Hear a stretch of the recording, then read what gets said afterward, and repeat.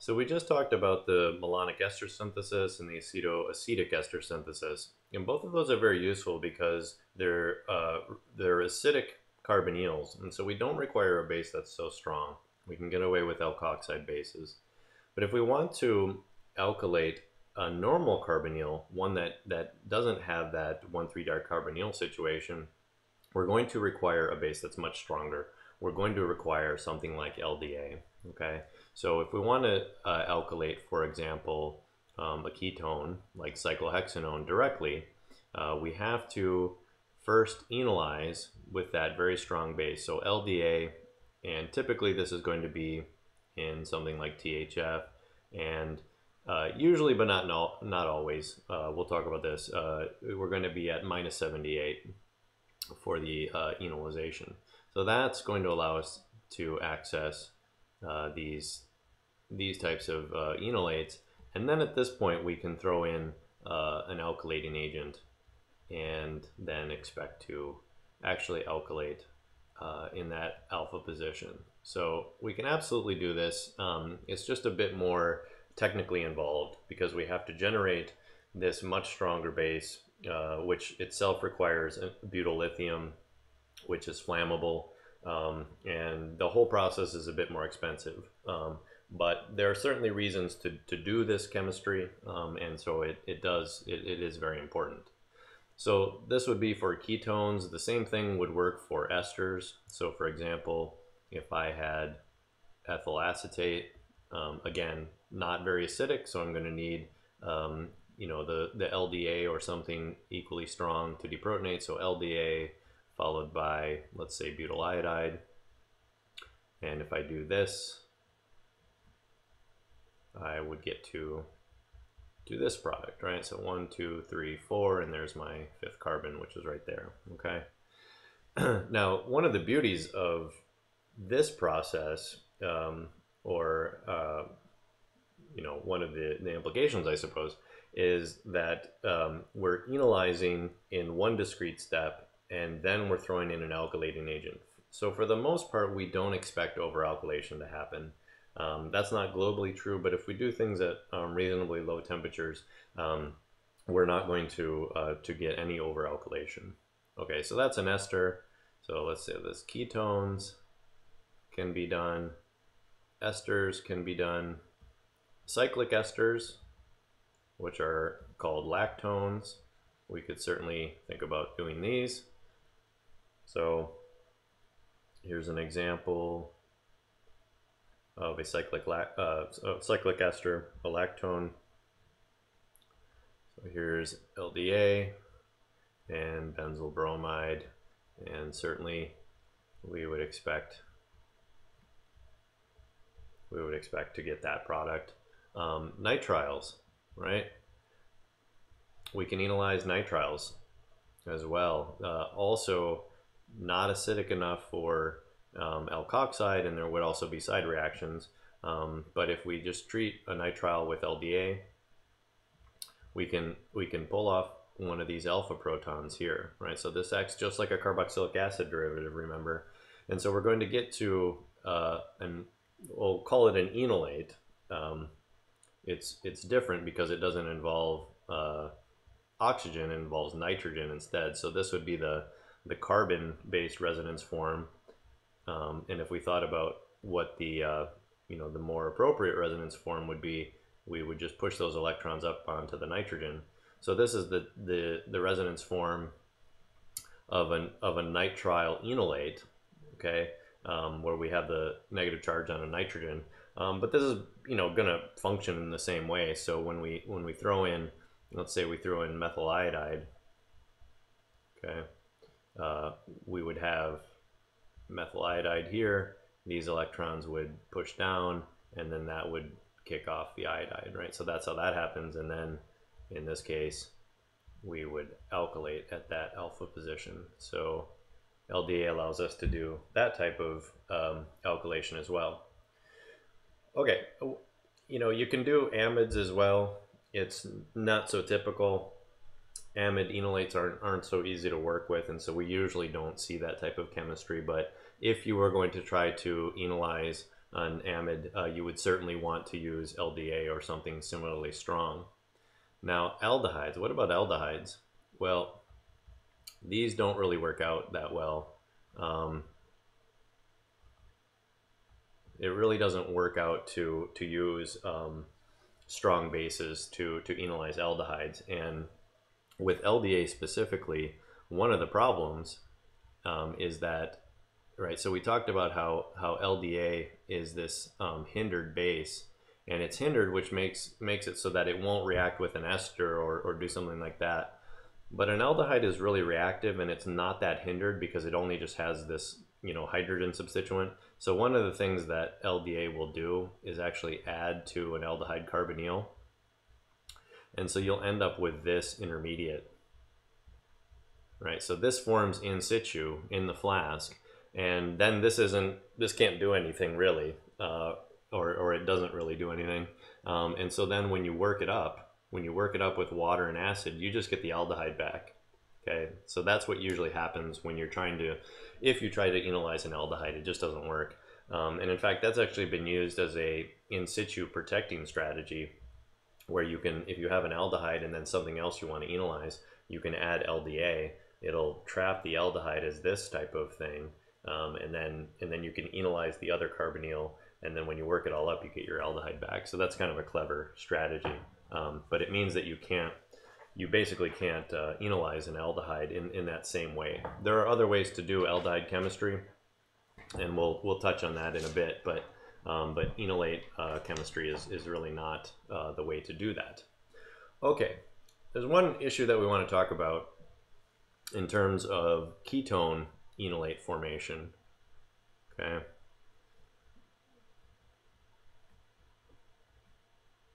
So the actual alkylation of the enolate, you know, we've talked about that. There's nothing special about it. It's just a, uh, an SN2 process. But the enolate formation, um, you know, has some specifics here that we need to talk about. And specifically, let us consider this ketone. Okay, so it's methyl cyclohexanone. If you know, notice, um, we could enolize at that position right? That's got two protons there. But there's also an acidic proton right there. So we've got this potential to enolize in either of two positions. Okay, two possible enolates that could form. Okay, and you know that's at least you know in theory presents a problem because we have a selectivity issue and in chemistry in synthetic chemistry selectivity is the name of the game you want to form one thing, the thing that you want to form, and you don't want to form anything else um, because that just leads to separation issues or uh, diminished yields. Okay, so what's going to happen? Well, we can we can use certain strategies that will help us select for one or the other. Now let's start with this position here. So this position one, we'll call this position two. Position one is the easy one because it's the least hindered. And I, as I think you understand, usually accessing the least hindered position is kinetically more favorable. It's just the thing that tends to happen faster. So if we play our cards right here, we're going to do LDA and we're going to keep this temperature really nice and low, minus 78 degrees Celsius, or, or sometimes even lower than that. Um, and we're using LDA, remember, which is a nice hindered base. We could even do things that were more hindered if we needed to. Well, if we do that, and if we keep the temperature low, we can expect a pretty high selectivity for this enolate. Okay, so we can just we can essentially call this only. Um, there might be some of the of the minor enolate, but not enough to really bother us that much.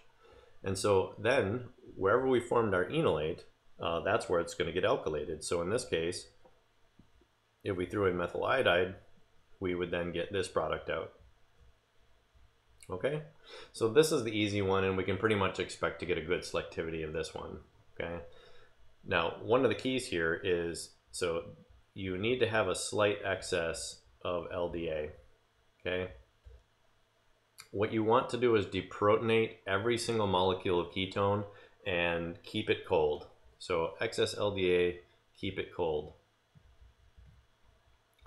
If you were to uh, if you were to deprotonate, let's say 98% of your ketone with 2% left over, 2% undeprotonated ketone, your molecule of enolate would see the undeprotonated ketone and exchange the proton, right?